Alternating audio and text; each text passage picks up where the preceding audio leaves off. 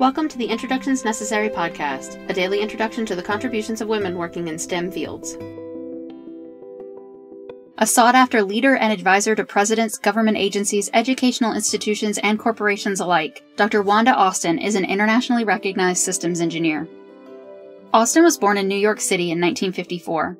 Growing up, she was involved in church activities and the Girl Scouts, and attended the prestigious Bronx High School of Science earning her bachelor's in mathematics from Franklin and Marshall College in Pennsylvania and a master's in mathematics and systems engineering from the University of Pittsburgh. Austin joined the Aerospace Corporation in 1982 as an entry level engineer. While working on satellite communications projects, Austin earned her doctorate in systems engineering from the University of Southern California and continued to work her way up the ranks at Aerospace. Austin became CEO of Aerospace on January 1, 2008, making her the first woman and the first African American to hold this position. Recognizing the importance of being positive role models for the next generation, she made sure the corporation was involved in MATHCOUNTS, US First Robotics, and Change the Equation.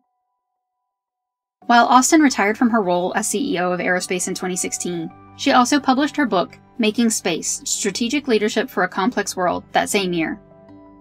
Retirement didn't last long. She co founded Making Space Inc. in 2017, where she serves as a motivational speaker on STEM education.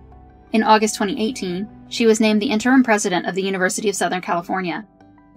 Austin has been appointed to the Defense Science Board, the NASA Advisory Council, and served on the President's Council of Advisors on Science and Technology during the Obama administration.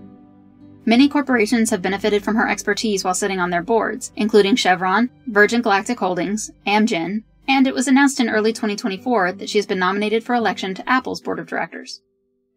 Beyond being internationally recognized for her work in systems engineering, Austin wants to serve as an inspiration to the next generation of potential STEM professionals and encourage people to pursue careers in science and engineering.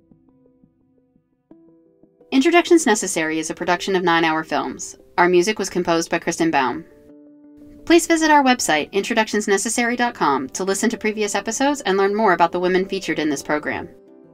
We would love for you to introduce yourself to us on Patreon. You'll get the latest updates and find out how to support the podcast on patreon.com slash 9hourfilms.